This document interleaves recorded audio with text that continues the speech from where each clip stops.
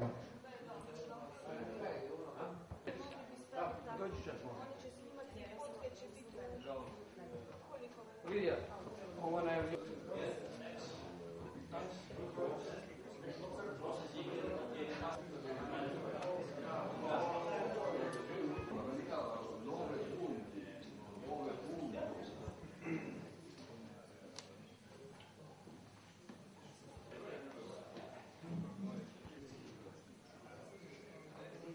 Tomorrow with spectacular program at the house party.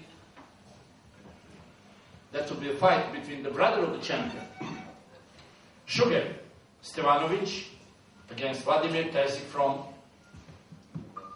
Slovakia in light middleweight. 68 600 grama. 68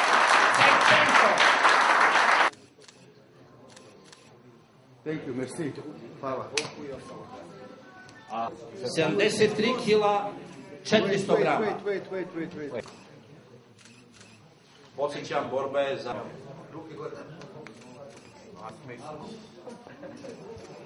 Profesionalac u profi boksu Miljan Ropčanik. Podigni ruku.